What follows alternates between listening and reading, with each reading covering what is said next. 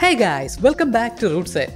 In the previous video, I showed you everything you need to know about the new Opla IoT kit by Arduino. We unboxed it, explained all the components and features, and showed you how you can activate 12 month subscription for the Maker plan. In this video, I'll be showing you how you can get started with this kit. I will show you how you can set this up, add this device to the IoT cloud, and upload your first code to your Opla kit. In the future videos, we'll be going through each and every sensor separately and we'll show you how to make different smart devices with this Opla kit. So make sure you subscribe to our channel by clicking the subscribe button here.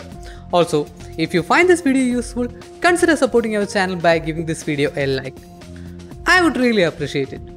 To get started, the first thing you need to do is connect the Arduino board to the carrier board.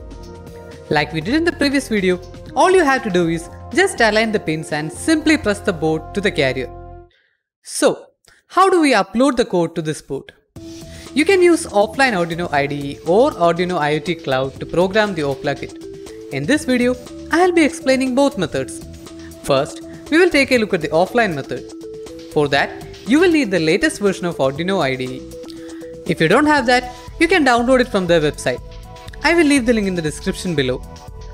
Once you download Arduino IDE, the next thing we have to do is, we have to check whether this board is installed. If you are using the latest version of Arduino IDE, you don't have to worry about that. It should already be there. You should see that under Tools, Board, Arduino SAMD. If it is not there, you can easily install it using the board manager.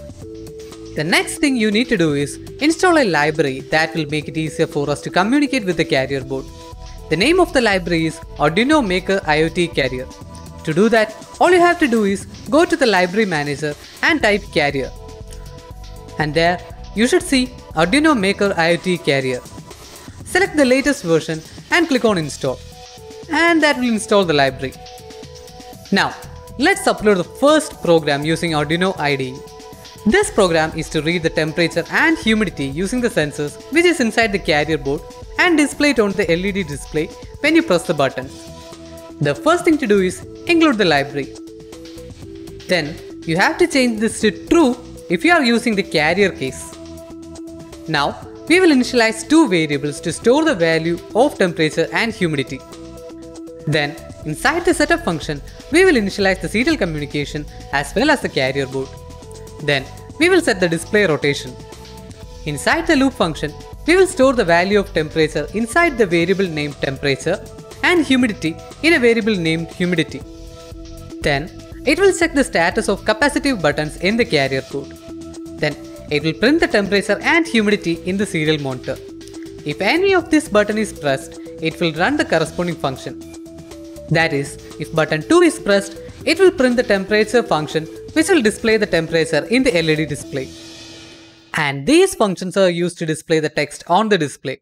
Here, we can set the properties such as background color, text color, text size, and the text we want to display. Actually, that's it for offline IDE. Now, you can compile and upload. Once the upload is complete, try pressing the buttons in the carrier. It should display the temperature and humidity. Next, I will show you how you can program it online using Arduino Web Editor.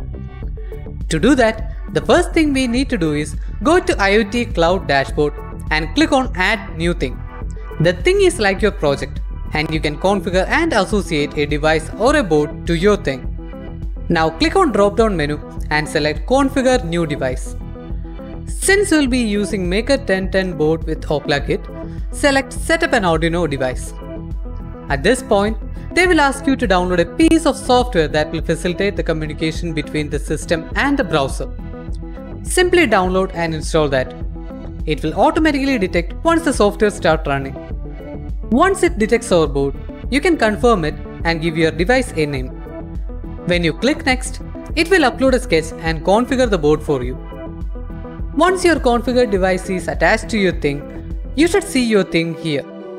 From here, you can go to the web editor and start coding. Here, we'll be uploading the same code we uploaded earlier.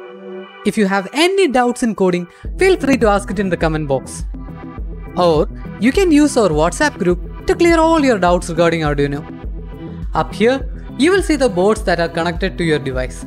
You can select Arduino Maker Wi-Fi 1010 and click upload and save. Once the code is uploaded, you can open the serial monitor by clicking the monitor tab.